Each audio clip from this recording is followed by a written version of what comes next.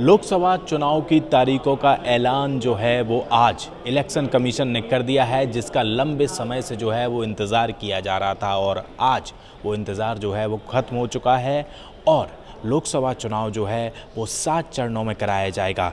अगर हम चरणों की बात करें तो पहला चरण जो है, वो 19 अप्रैल, फ़र्स्ट फ़ेज़, यानी कि 19 अप्रैल को जो डेट ऑफ़ पोल जो है, वो 19 अप्रैल को होगा। और वहीं अगर दूसरे चरण की बात करें तो दूसरा चरण जो है, वो 26 अप्रैल को डेट ऑफ़ पोल जो जो डेट ऑफ़ पोल है, वो 26 अप्रैल 2024 यानी कि दिन जो है, वो शुक्रवार को होगा।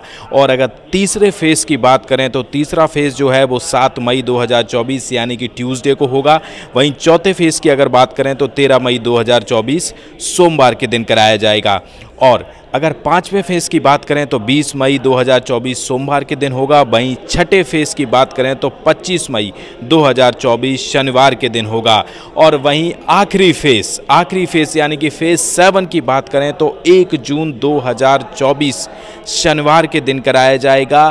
तो इसका मतलब साफ़ है कि सात चरणों में चुनाव, पाँच सीटें, दुनिया की सबसे बड़ी डेमोक्रेसी जो भारत जो है, वो सात चरणों में जो है वो 2024 लोकसभा इलेक्शन होने जा रहा है और डेट्स जो हैं, तारीखें जो हैं, वो अनाउंसमेंट हो चुका है और इससे भी बड़ी बात जो है, अगर काउंटिंग की बात करें तो 4 जून को काउंटिंग जो है वो लोकसभा चुनाव का परिणाम वो आएगा।